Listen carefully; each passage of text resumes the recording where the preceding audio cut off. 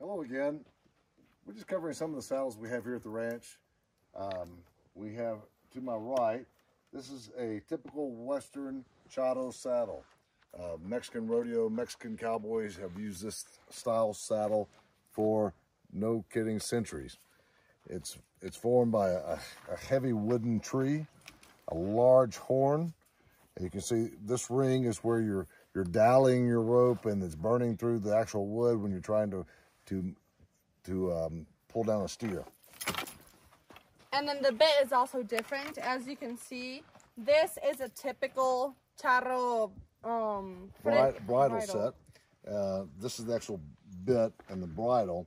Um, charro bridles are usually more harsh than Tennessee walking horse bridles. And here it's just, it goes into one hand because it's easier for charros to be able to do different things like my dad mentioned with the rope. Now we have a... This is your typical Western U.S. style saddle. Western, or in Spanish, we call this a Tejano. Just as typical in any, any place in the Western United States, a Western riding, Western pleasure, uh, saddle horn, and this is a this is the bit we use on Rosita. It's a, a much softer bit in order to maintain control of the horse, but yet not so be so harsh. And as you can see in comparison to the um, the other saddle, the charro saddle, the horn is different. And then this is my saddle. It's the same as the other saddle that we just talked about, but this one is much more lightweight just because I wanted to be able to carry it.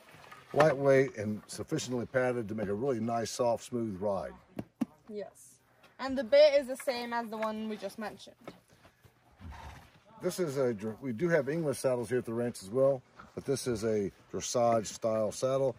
As we described before, this does not have a horn, so it's not a working saddle for cattle, etc. Yeah, I hope you guys learn a little bit more about different types of saddles.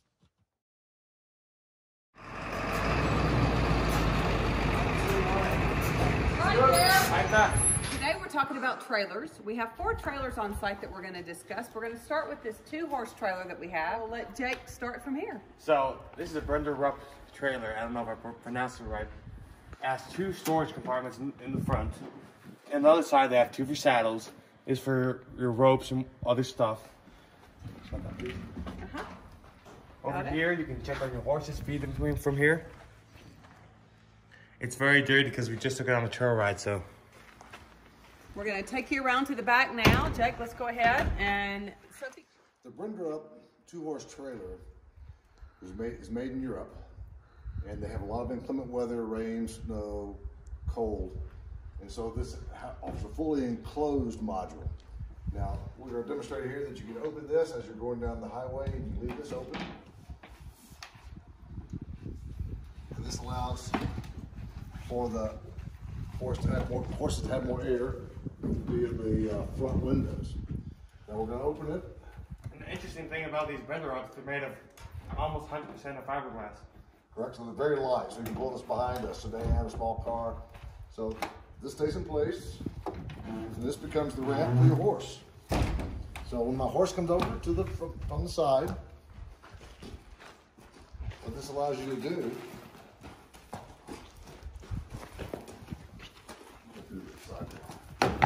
Just walk right up. So, This is an example of loading a Tennessee Walker into the Brenderup two-horse trailer. Jake is already in front, so I'm gonna hand Jake the, the lead, and he steps out the side. So we bring her up, she walks right up.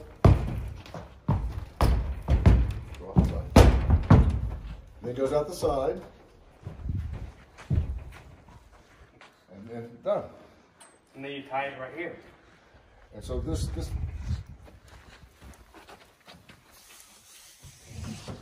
So it also offers opportunity for a front windshield so the horse can see where it's going. The next example here on the ranch, as we said before, we're involved in all types of riding, not only with Tennessee walkers, but also with quarter horse and ranch work and in charreadas or rodeos.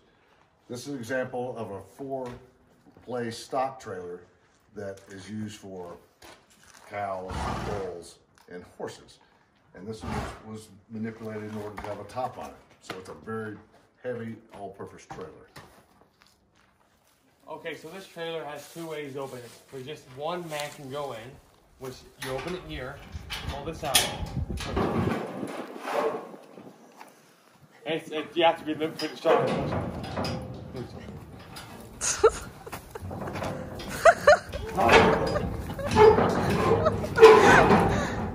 Yeah, right. Yeah. Back, back, just. Uh, e-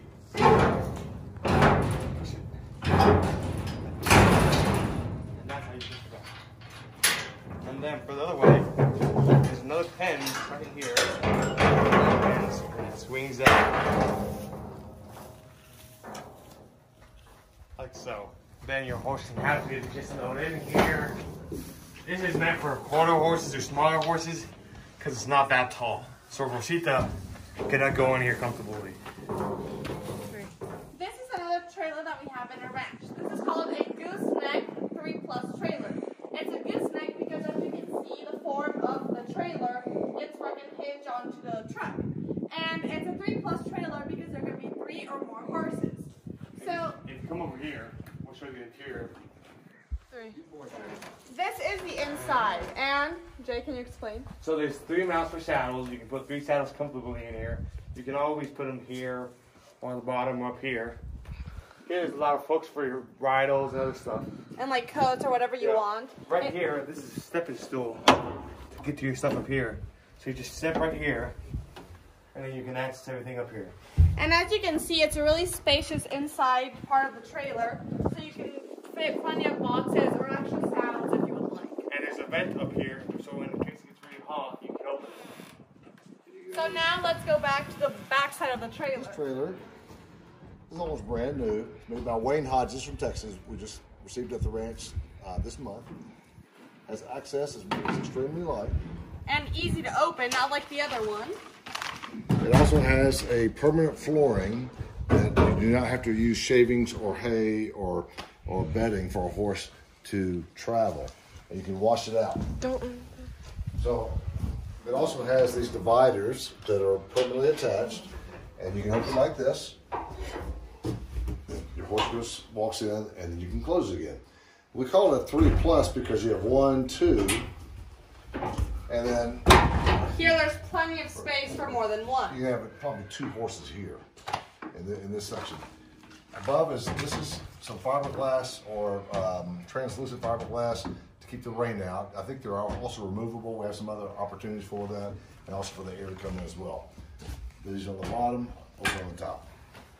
So there's actually another fiberglass is another part of the trailer. This is another type of trailer that we have. Same as the other white one. It's a gooseneck trailer.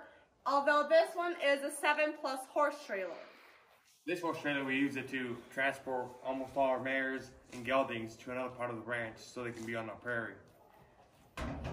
In, on this side, it's a little bit less spacious than the other one over there.